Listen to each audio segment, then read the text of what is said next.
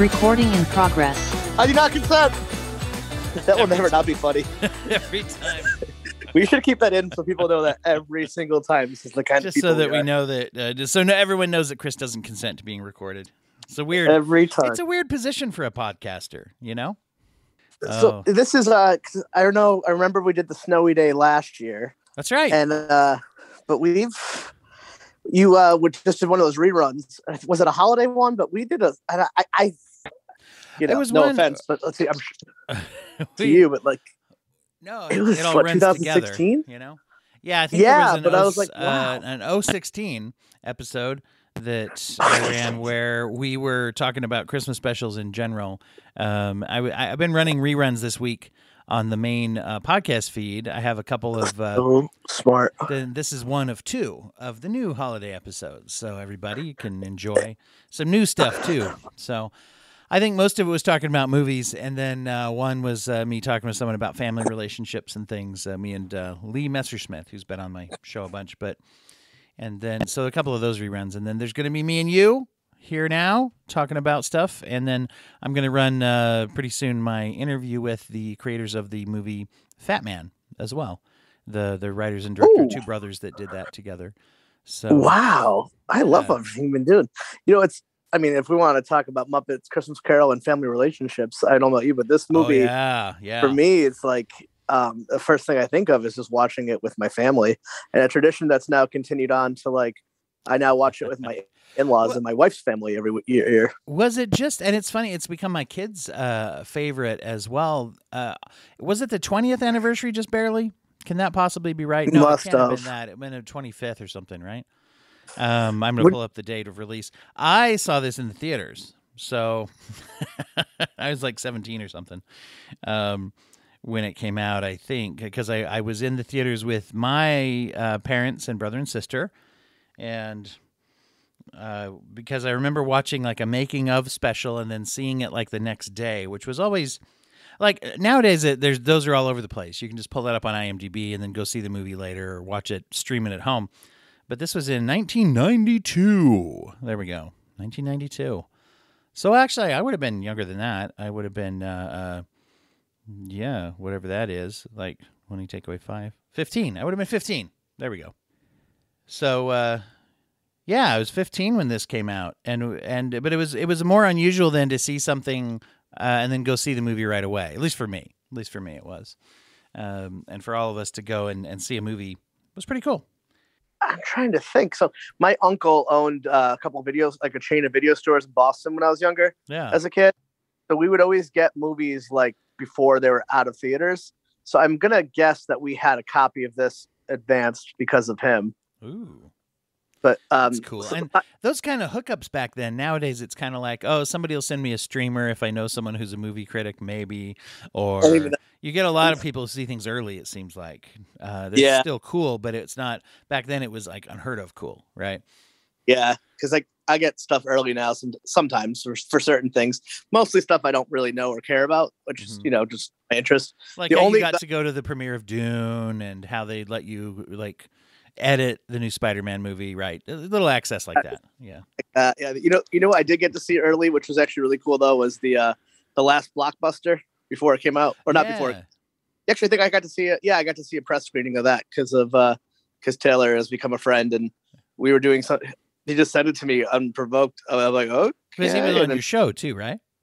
yeah, he's done Yeah. the show. We did a we did a panel together uh, with some other people about uh, punk rock documentaries because he had made one about ska, and Blockbuster was all done but about to come out. So he's like, he sent me a link before we did that, and I was like, oh my god, this is like really good. You got to come on the podcast now, and uh, Cool. I gotta hitch myself to your wagon because this is inc- That's cool. Yeah. So that kind of access back then, your uncle hooking you up.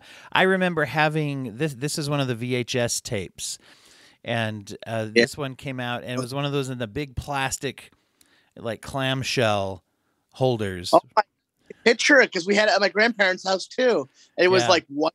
Yes, it wasn't the the thin cardboard. It was like an event because it, uh, dude. I can like as you're saying that. I haven't thought about that in forever. I can I can smell the box as I think White about it. plastic has that classic picture on the front of like the the poster of the movie, of course.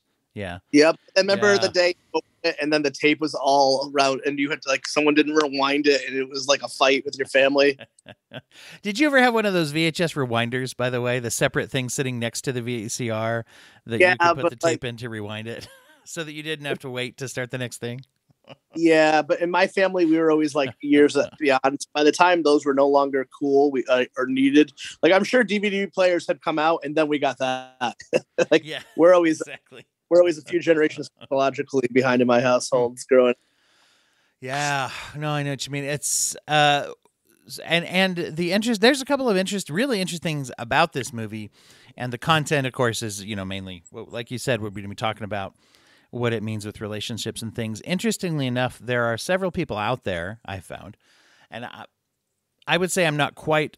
Uh, I'm not quite an extreme on this, uh, but being someone who's a big fan of the story of Christmas Carol, I have found that a lot of people actually view this as their favorite retelling of that, their favorite movie version. And I would say it's up there in my top, I don't know, couple. Um, oh, it's my yeah, your favorite? yeah, but I also don't like that story outside of this movie, so I, I don't count. Interesting. Yeah. Well, I don't. Sure, it's a fine story. It's just it, it's not one that I I go I don't turn to outside the Muppet Christmas Carol yeah. Have you ever read it? in school. Okay. Yeah. Yeah. So I, I'm I'm a fan of the book as well, the short book, I guess you could say. Um, and actually, you know, one of the things that I, I find about this, and people say it teasingly sometimes, that Michael Caine's performance as Scrooge is 100% swinging for the fences serious. He is not acting different. He's not trying to be silly Scrooge. He's trying to be Scrooge. He is being Scrooge, like straight up, right? And I think that's one of the great um, strengths of this this movie is that it's not a oh it's a you know it's a silly movie or it has silly elements in some ways. It's just trying to be a Christmas Carol, and then you have the Muppet silliness. But but Caine is not trying to be silly. Yeah, I, I'd even go farther to say even the Muppets aren't even silly in this. Like every performer outside of Rizzo and Gonzo, who are kind of like our our avatars of like how ridiculous this like Kermit and like every performer is playing this movie so straight and so serious. It's like you do forget they're Muppets. Like you really Yeah. forget that they're like that. Like you, it's like you ha- you forget at one point that you're watching uh, Michael Caine and uh, and puppets. Like Yeah, every one but the only time you get that little break from like the, the christmas story is rizzo and gonzo which Right. to me like i guess as a kid too that was my way into this because like they added some humor to a dark story.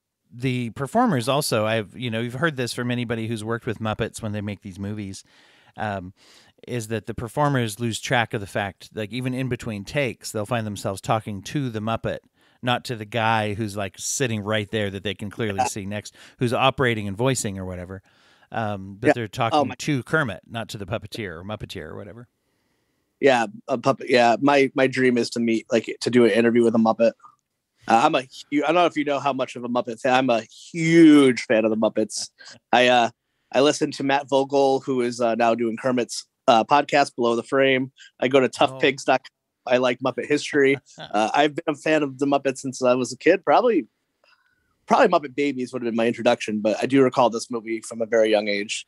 So I'll, I'll. This is a good time to drop this. If you go out on YouTube, I don't know any- if anybody's ever done this, but the Muppet Holiday Special uh, was a TV special that was made a long time ago. It's fantastic, but Ooh. because of distribution rights of some of the music and stuff, it's never really been packaged. But it is on YouTube, and they've let it be on YouTube. Uh, and you can find it. Oh. It's actually the first, I believe, the first appearance of the Muppet Babies because they're sitting around. The, the premise of it is is that they go over to they're going to Fozzie's mom's house. It's a farmhouse out in the middle of nowhere. And they're going to surprise her so she won't have to be alone for the holidays. But she's all packed up and ready to go on, on vacation. She's all excited to like go to the Bahamas. And then all of a sudden everybody uh, everyone arrives. and so she's she's sort of like Airbnb'd her house, although they didn't call it that back then. She's rented out her house for the holiday to uh, an old man and a dog who turn out to be uh, Doc and Sprocket from the Fraggles, right? Wow, like Marvel. Well, no, this is this is like the Muppet Cinematic Universe, if you will, which would still be the MCU, because they have the Sesame Street characters join them, and there's a part where uh, Kermit and Robin actually find a Fraggle hole and go inside, and they meet the Fraggles and sing a little bit with them. I mean, this is uh this, this is an all encompassing kind of special.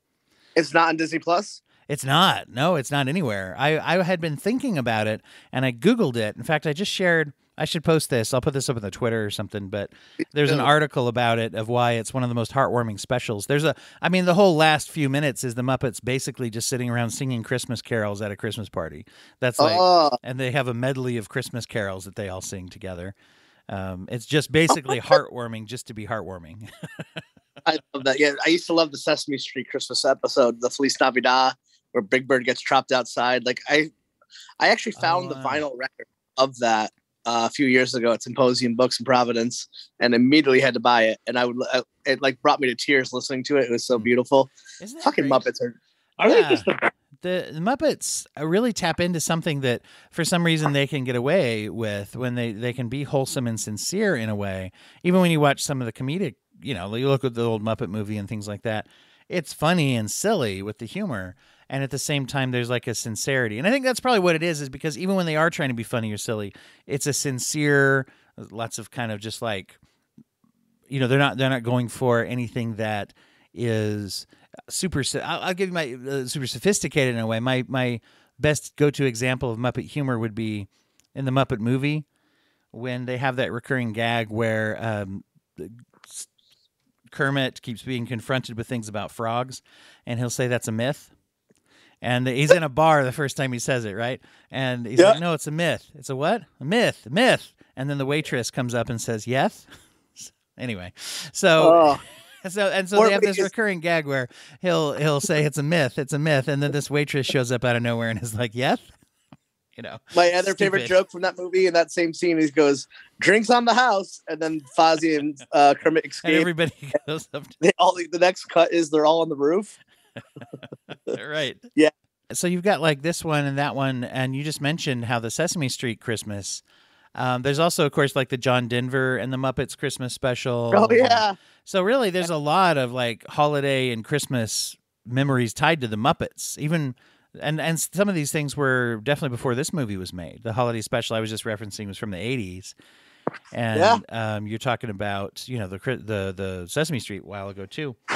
And so when you look at this, this is almost maybe a culmination of all of those warm feelings coming into a Christmas Carol. And amazingly, it stands up so well today.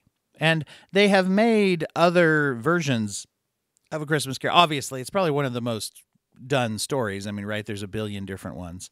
Um, and some of the newer ones I find kids don't key into. Like they made that one I think they thought was going to be really big with Jim Carrey, the animated one. Most children I know are horrified by that one. It's really kind of Oh, I didn't know that. aesthetic is kind of glaring and ugly. There's, I think part of it is because like I think this is also the first movie after Jim had died, I believe, because I know his son had made this one, and like, but they, I think part of it is like they used a lot of practical effects, like everything CGI. There's no CGI, well, CGI didn't exist, but like they used a a, a town of miniatures, and like aesthetically, it's timeless. Like it's Yes. because it's you know it's a time period.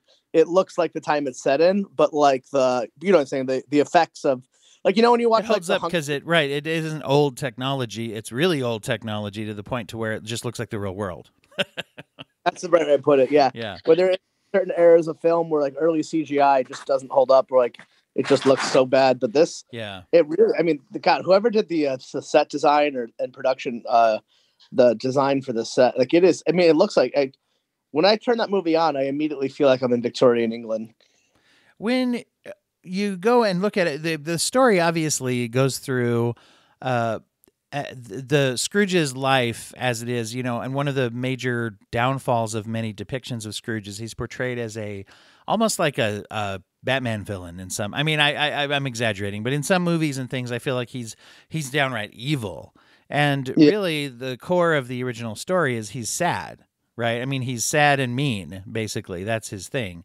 Um, and I feel like that's captured pretty well here. He's, you know, he's he may be merciless, he may be unforgiving, he may be inflexible, and all those things, but uh, it's really a story of somebody with a lot of trauma and a lot of loneliness, right? Who's lashing out at the world around him. And I feel like they they showcase that pretty well. Yeah, I couldn't agree more. And then, and exactly right. When you're when you're sad, uh, you don't make good decisions. You don't treat people well around you. Like that whole like you treat people, you know, like you know, at his core, he's just given up and nothing matters. And then what they show so well is he's actually angry and annoyed by people being happy around him. It's that whole like uh, misery loves company thing. Yeah. That's the line. It's for, a line from the novel as well from the movie, of course. When he's uh, telling his nephew, "What right do you have to be happy? You're poor enough. You shouldn't be happy." Yeah. And it's I mean it's a timeless movie, timeless story. It's a timeless story done well and just and well it's great because as you watch it as a viewer, even as a kid, um you're all aware that that is Kermit the Frog prote- acting. Like, you know, Kermit is like they they treat him as if he's a human actor. Like I don't look I'm like it's like, "Oh my god, look, Kermit is acting." Like you don't ever think that's Kermit like you even when you're watching, you know right. that's You not know Kermit. it's Bob Cratchit or whatever. Right. that's Kermit the Frog pretending to be, you know, it's Right. weird, right? A puppet. We're, but that's how connected, like that's how emotionally ingrained we are with connected to these puppets, where we feel like they're real. I mean, I do. I mean, I. No, I it's honestly- interesting though. I, I mean, it is interesting the whole way that that is created. Uh, because you don't, yeah, you don't watch John Wick and say like, "Why is Keanu Reeves hitting people?" It's like, no, it's because it's a character. But Yeah, exactly. the Muppets, it, it, even as a kid, you buy it the same way of like, oh, that's him being that person. Yeah, I'm like Kermit's a good actor. I actually, I think I'm sure I said that when I was nine.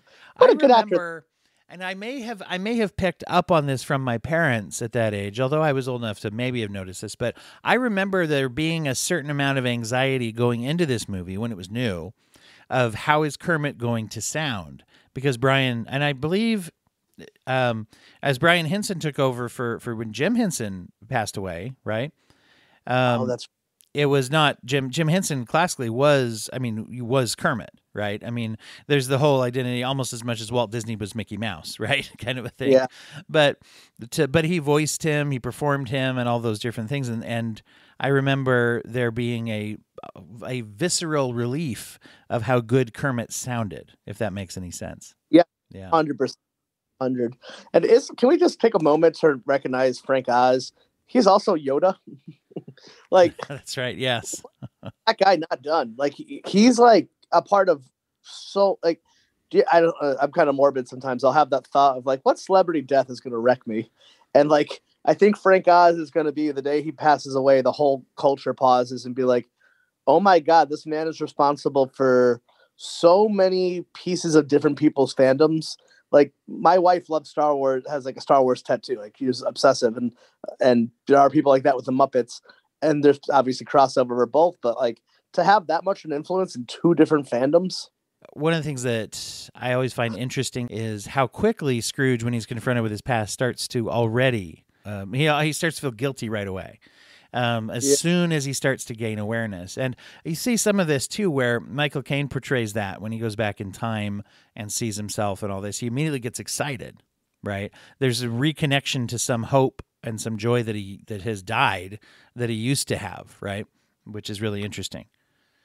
So is this whole movie just kind of like a visual representation of what it's like to process like stuff neurologically in a dream or like microdosing or like like uh you know like because Or trauma therapy.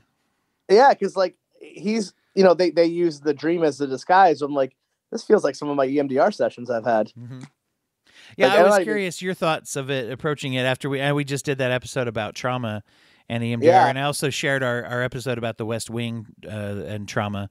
So there's a lot of you I- and me this Christmas season for the listeners of the Broken Brain podcast. i'm on this i recorded this like i was just like super excited i forgot we had not forgot you know how it is i was like sure. Oh yeah, I did this with dwight i can't i'm like we did good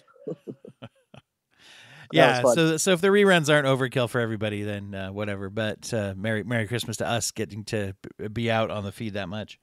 Now, I think it's really true when you look at it. The idea of the past and present and future. What's that he says at the end, right? I'll I'll live in the past and the present and the future. And I remember being a kid and hearing that all the movies and in the story. That line, it was always just kind of a oh whatever. Um, didn't really.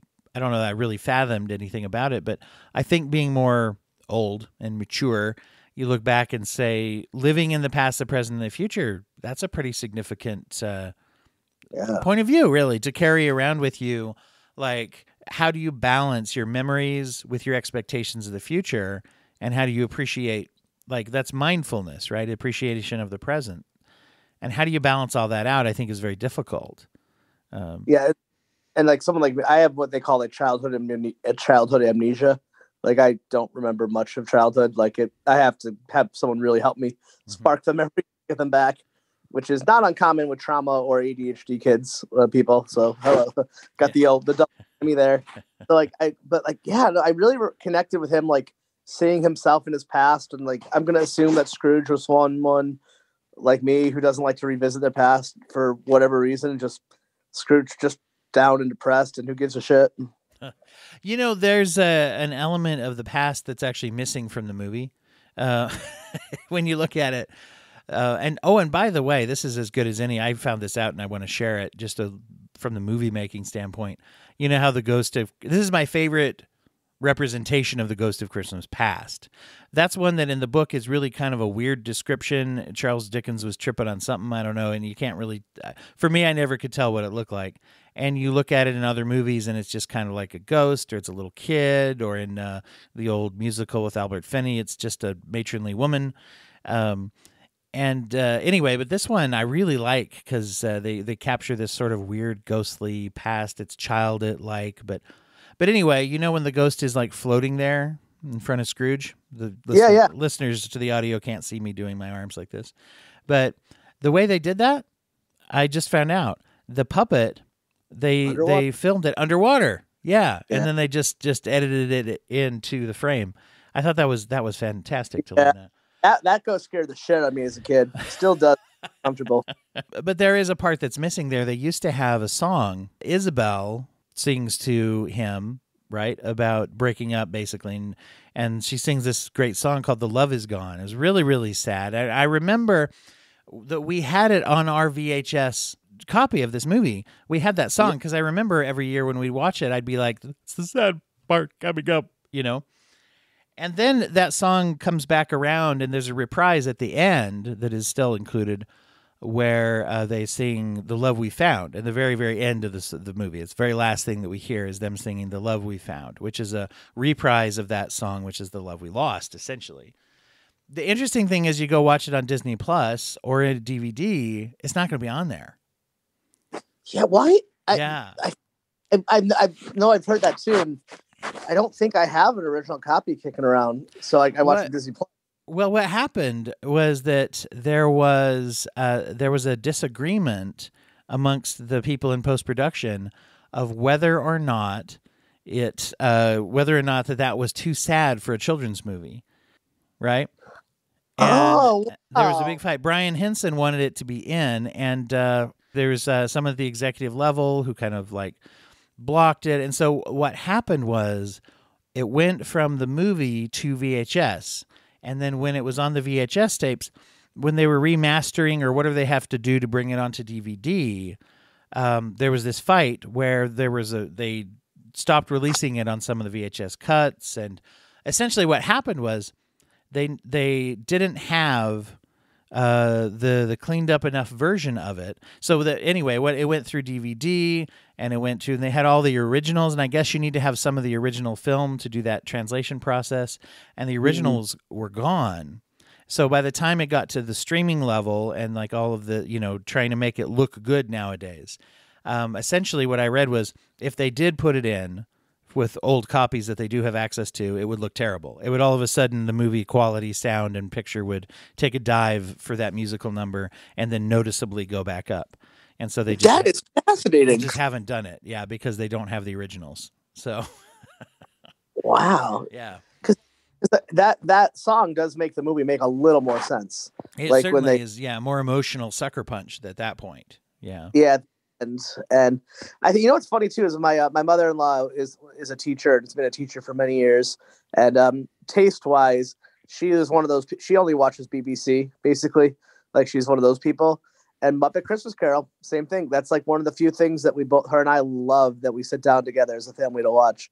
Like everything else we'll watch together, it's like not that's bad. It's just you know, she she's more of an intellectually uh she's more of a baker and a reader and i'm more of a tv person but it's just so funny how it's like because I, I actually oddly enough outside of like Sherlock and this, I don't really like the British things. Uh, so it's funny how Muppet Christmas Carol is that thing that can. Uh, As evidenced by you counting Muppet Christmas Carol as a British thing, just there. Michael Caine's in it.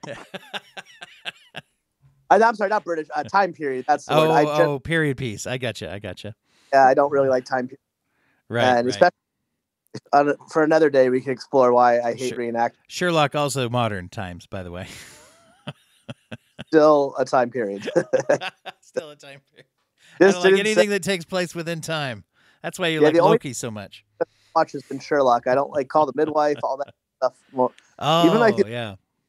never. I don't even watch the British Office. We're gonna have to. Uh, we're gonna have to dig in. Now, I will say, British Office. Uh, I like the American version a lot better. However, I do love Call the Midwife.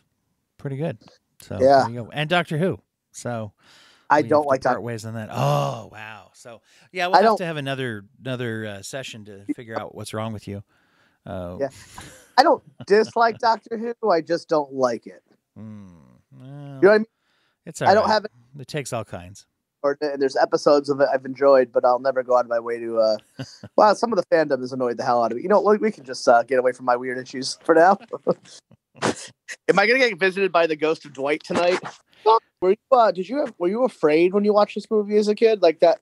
That the ghost, the the fir- that little baby ghost is the only one that that and the death Muppet at the end really used to like really not nightmares, but like I remember really like getting very tense. Even now, I still get a little clenched up when that scene comes on. Like it, it hits hard. It hits hard. Well, it's funny when you say that because, uh, of course, of course, I, I saw it at age 15 for the first time because it's when it came out, right? And so I didn't have the little kid experience with it that Mm. nowadays, that like that my kids have had and that people have now um, because of being so old. But the I will say I was never scared by the Ghost of Christmas Past. I didn't really see that, but the but Future, I think they actually captured the scariness of the the Ghost of Christmas yet to come. I should say that's what it's called. Uh, they captured that well in this one. I think probably better than any other version I've ever seen, um, because of just the way that I think with the Muppetry you can make it to where the the hands aren't the hands are the only part of their body you can see, and they're not human really. And then there's the big swirling kind of like, you know, robe and cape and everything. Um, which I had read that they actually did use the same fabric as the bed curtains that he's hugging at the end. There's some like like difference of how they presented it or whatever, but so with that whole control, yeah, you have that big hulking like you could always feel like you should just barely be able to see in there and you just can't. Mm. Yeah.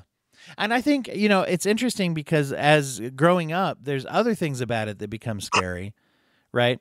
Which is the thing that scares Scrooge, right? The thing that scares Scrooge, of course.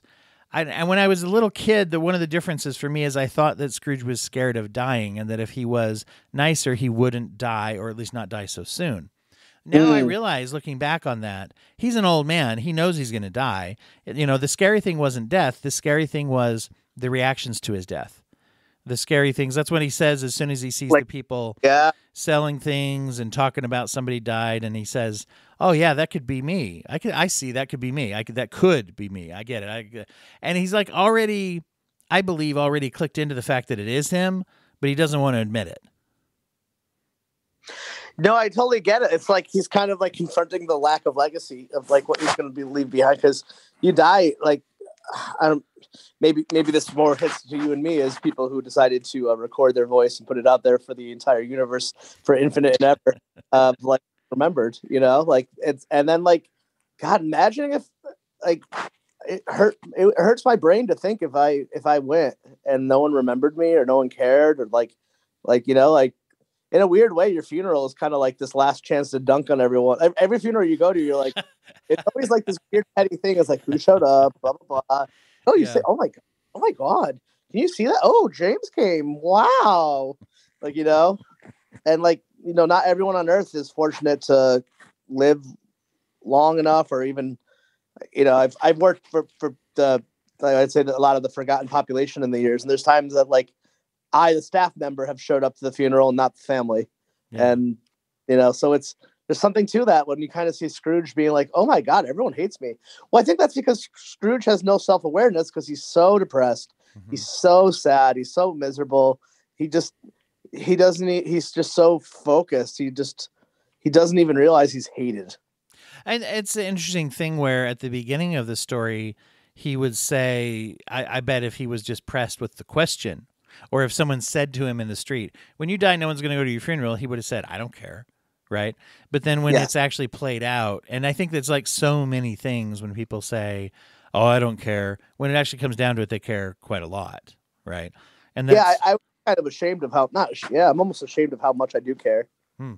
Well, it's interesting though. I mean, I think there's awareness. You're talking about emotional awareness of saying like it would hurt me, and I maybe I carry that around with me in a way that hopefully affects the way I act. You know, Uh, yeah. yeah, Like I want you know, and be remembered well, and like you know, I started my podcast for like uh, a myriad of reasons, like anyone. But one of one of the reasons, like the really like subconscious stuff I've learned later on, is like I've I've had a lot of loss in my life, and when you lose people, it's the voice is the thing you can, you can always look at a picture, but like if you don't have someone's voice, um, I don't know, the voice is always the thing that can bring you back, and like in some weird some weird like subconscious way i'm like and part of it was like this weird like leaving a legacy behind sure it's mostly poop and fart jokes and talking about like punk bands but still no, but it's a part of you. I mean, you put yourself into it, right? And that's one of the Yeah. things that. well, uh, now that on your uh, podcast with the emdr too like that's probably like that's that's one for the record books yeah, by far probably the most popular podcast episode i've ever been on ever yours the emdr episode Oh, when we had the EMDR episode, right, right, yeah.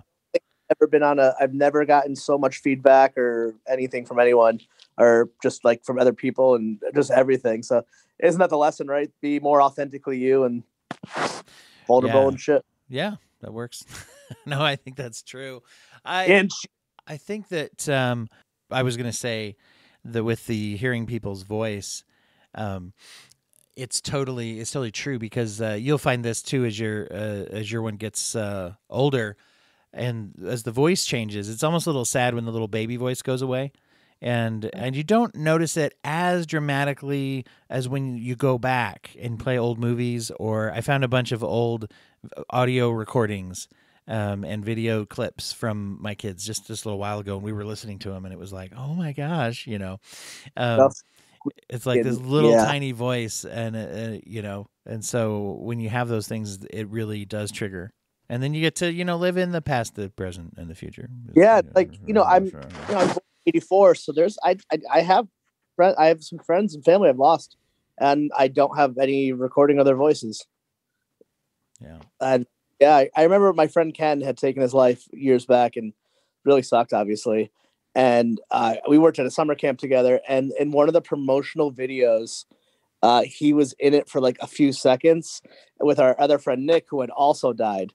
And it was like, I must have watched that. We would watch that clip of Nick and Ken on repeat because it was our two friends. They had died years apart. And uh, it was really sad, but it was like, it was just, we would just watch it over and over and then in your head you can like have met, i don't know it, it, it just uh it unlocks and it triggers something and I think that it really it does tie in with that idea of what is coming. That's the scary part. When you look at what Scrooge compares as well, uh, when he immediately goes and sees Tiny Tim, right? He asks the ghost to show me warmth associated with death, right? And then and he sees this grieving that's going on. And it's really interesting to see the contrast there of like here's someone who lived only a few years, right, comparatively, and then there's Scrooge who lived a whole life, right?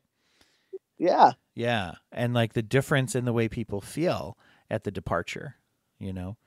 Um, well, and like and also like in scrooge's mind he's wealthy so therefore he's loved and valued and he was a poor uh he was a commoner. Who who cares about this? Like whatever. He didn't he didn't uh tiny tim didn't have any money. He didn't build wealth. He didn't build a, a, a legacy or a, a building or anything like that. He was just a kid. Who could but then the fact that like it nearly destroys not destroys but like emotionally wrecks his family. And just the fact that he's like i lived an entire life and no one cares. It kind of ties into uh, you see where he's confronted with his own words. Um, and this is during the Ghost of Christmas Present, but when he says, Tell me, is Tiny Tim going to die? And he's like, Well, if he's going to die, he, he better do it and decrease the surplus population. And that's another famous line from this story, right? It makes it into most of the movies, if not all. Um, one of the things that it shows is, is just like his uncaringness before. What we find is that deep down there's a there's a sort of hypocrisy there of like he didn't really necessarily mean it because he never took the time to think about what that actually meant. There's an exchange in the original uh, story. It goes a little bit deeper, where the ghost of Christmas present is actually quite harsh with him at that point, and and he shows him these like bedraggled children that are like like supposedly like represent hunger and want and need, and he says, you know, basically, don't be so quick unless you're going to familiarize yourself with with um, who the surplus is. If you're going to talk about the surplus, well, who is the surplus? and look at the and he doesn't say it this way i don't know but exactly i'm paraphrasing but it's kind of like are you willing to look the supposed surplus of the population right in the eye and say you should die because really chances are you're really not right? And because he's really he really isn't. He sits there and sees tiny tim for like this cool christmas dinner and he essentially falls in love with this camaraderie and this purity uh, of this kid of just saying like oh no what are we going to do? We gotta we gotta save him. And it's like, well, you didn't really. It wasn't any less right to want to save the people that you didn't see their faces when the two guys came asking for a few bucks to buy some mm. dinners for people. Those are all Tiny Tims out there, but he just didn't ever take the time to get to know who they were. Right. So, do you? Uh, one thing I like about this movie is that it makes it clear that Scrooge isn't a psycho. Uh, he's not a sociopath. He's right. just disgusted, and there is redemption. Yes. Like and I think there's a lot of people that I don't like or disagree with, and uh, kind of clamber up to the wrong side of politically speaking. Um, but like, I think a lot of those people aren't sociopathic, evil people at their core. I think they're just uh, misguided and and and disconnected. And as speaking of someone who was definitely uh, disconnected emotionally for most uh, majority of my adult life, until you know EMDR is all about kind of reconnecting and resetting those circuits. Um, like I, I can kind of relate and have this fear that if I never met Victoria and and never got help, like minus being rich, I could have turned into a Scrooge. Mm-hmm. Like yeah. I guess we all have that within us, right? Like we all could have like we could all shut it all down if we like it or not. And then like I I guess that's my fear is like I don't ever want to turn into the Scrooge, but you don't realize you're Scrooge until well, I always say this to my clients is you don't ever realize how how bad you felt until you start to feel good. And I think that's just uh, like he has no idea that he's depressed and miserable and sad and lonely and and unloved. And he's unloved. He doesn't even re- he doesn't even know that he's not loved. Right. That's good to put it. And and a lot of his motivation is fear. There's a line where he is talking to uh, in the the past, right? There's a scene. It makes it into everything where he's getting broken up, and you know, Belle comes in and tells him, you know, you, you really aren't into me anymore. Um, let's let's cut this thing off. Let's let's call it time of death now. And you know, he pushes back. And one of the phrases that uh, didn't make it into Muppet Christmas Carol, but it's in a lot of them, is when he says, uh, "There's nothing in the world." that the world is so hard on as poverty, but there's nothing it condemns more than the pursuit of wealth.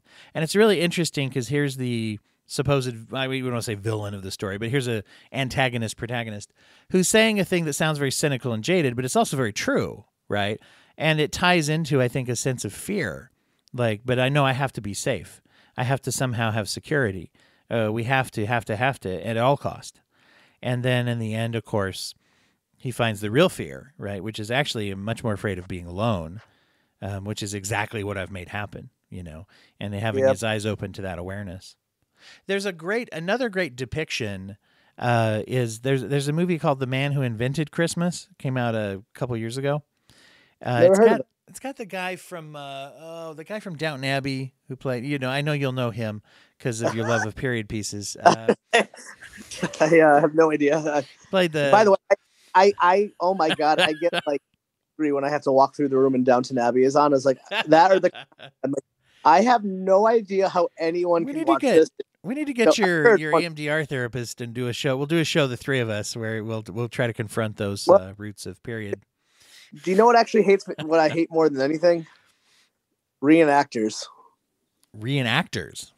Like if you ever have to go to those crappy like living history kind of things. Oh, like, Like- that, like you go to like uh, uh, Virginia and stuff, and they have the whole town where everybody acts, or, or like, are you? Yeah. ta- you're not talking like a Renaissance fair or something too. You don't hate Oh, that, do you? Bring me to a Renaissance. Oh, Don't even. No. Ah.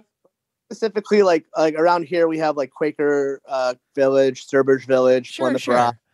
Yeah, Um, yeah, yeah. That's one of the things I, I miss about the East is like uh, going to Old Town, Virginia, and some of those places. Yeah, I love that stuff. Well. Like my whole, so like my in-laws in like Victoria, they also be reenactors, and I love, you know, I'm not gonna hold it against them. And they always talk about wanting to go to Williamsburg. I'm like, you can go, but I'm staying here. I'm like, You're like, let It- me it- off at the at the 7-Eleven, uh, you I- know, down the street. I'll stay there. I'm curious because I, I, and sometimes I think like even my therapist, I think there's like a level where they all think I'm like mostly joking, but I'm not kidding. At my core, You have a real revulsion. I get rageful because I feel like it's that like, oh, you're lying to me thing. Like I'm like, oh, what Twix? What is that glowing object in your hand? Like, you, I know it's a phone. Just shut up.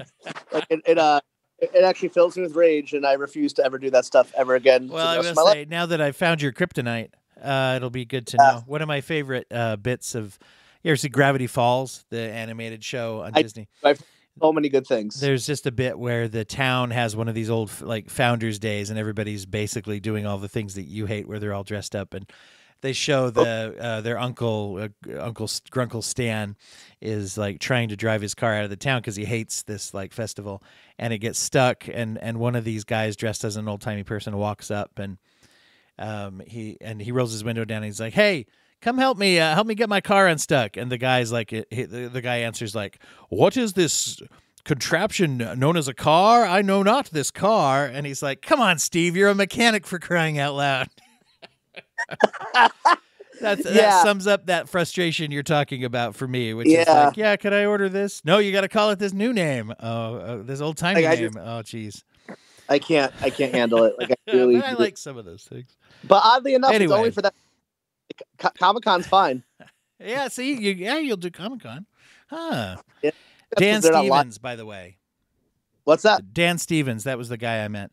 I looked it up Ah. while, while we were riffing on on other stuff. Um, Dan Stevens, the man who invented Christmas, he plays. It's a it's a, uh dramatization, sanitiz, whatever you want to say, of Charles Dickens writing A Christmas Carol, and um, Oh, that's yeah, it's it's a good movie. Uh, it's it's a period piece, so get ready. But you know, I'd suggest it. Uh, but um, what's his name? Uh, Christopher Plummer actually plays Scrooge because in this, it's one of these stories where uh, people like the the characters of the the story kind of appear to him here and there, and Scrooge is kind of personified as the antagonist, protagonist, and tortures him and kind of is making fun of him and like you know being Scrooge basically, right? And it's actually even though it's not a Christmas Carol. It's about the writing of a Christmas Carol. They have uh, they have the bit where he creates the scene in his mind of here's what's going to happen to you, Scrooge, and Scrooge, as the character in his imagination, whatever, pleads with him just the same way as he pleads in the story, right? Um, to not do this to me because at that point he's on the fence of whether or not he's actually just going to screw he's not thinking redemption at that point in the in, in as a writer. He's just thinking this is a, a morality tale that's going to show something bad happening to this guy. And uh, and so you're absolutely right like that redemption piece and that's actually that's actually probably the best uh, scene i've ever seen of christopher plummer playing scrooge for this one little part of the story uh, uh, showing it just straight out of the the thing.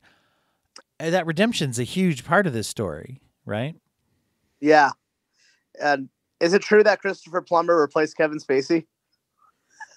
in that movie I'm just kidding. i didn't know that oh okay Uh, There was a period where Kevin Spacey had to get taken out of a bunch of like or just A as a, lot- human No. from. Christopher Plummer became like the go-to guy to go fill in for every uh, rapist. I didn't know that. Oh wow, I didn't know that. Money in the World, I think they filmed it with Kevin Spacey, and then they replaced it with Christopher Plummer. Oh, I didn't know that. I didn't know that. That's why when I watched The Usual Suspects, they they uh, deep faked Christopher Christopher Plummer. Plummer that. No, just kidding. Be kind of hard to edit around Spacey in that one, I would think. But Yeah. um, I- as I know, we had a kind of we have like we start to start kind of wrapping it up. Um, like overall thoughts, like, isn't it wonderful to see this every year come around into new generations and generations and generations. And like i feel like you know i'll be showing i'll be in my in the nursing home if i get make it that far and i'll be watching this still. Yeah. That's a cool thing about it is that it bears repetition which uh, there are people who take comfort in watching the same things over and over and over and all of us probably have some of those things but uh, yeah I, I i know that it the other thing about it is that it makes it so accessible uh, like generationally and at different ages for a little kid to sit down and say, let me watch a story of regret and death and life and loss and trauma and all of these things, and to say, and just really have it be super accessible. And I think the Muppet format actually helps that even more to be the case because there's a lot yeah. of good depictions of a Christmas Carol that you can find. Um, I mean, you can't, you know, because of the period piece version, but uh, there's a lot of different, you know, versions that they're not as accessible to children that are quite as young as the ones that will sit through this movie, right? Because uh, they'll sit there and for at least some part of it will be like, ooh, you know. So this this one really gets it out there, which is really eh, pretty powerful.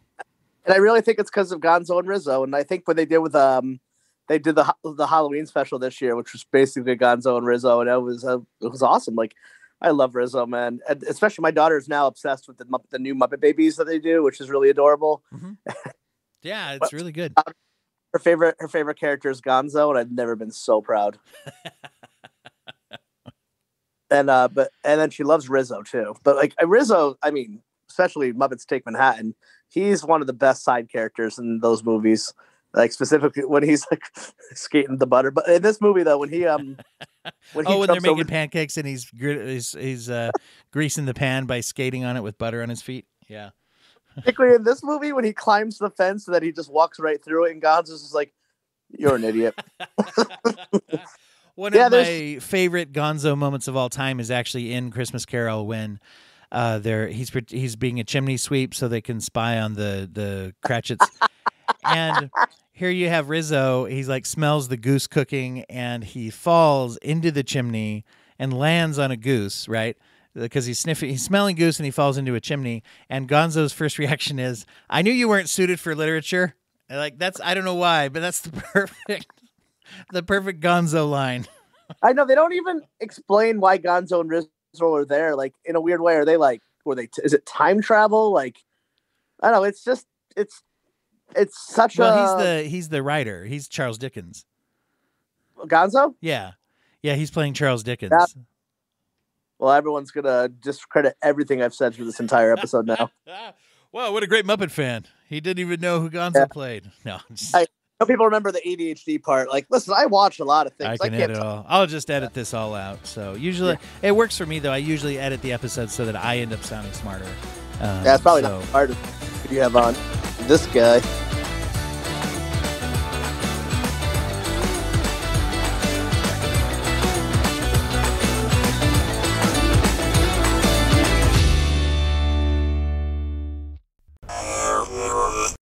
Thank you for listening to the Court Parts Podcast Network. To listen to more Court Arts shows, visit courtemparts.com.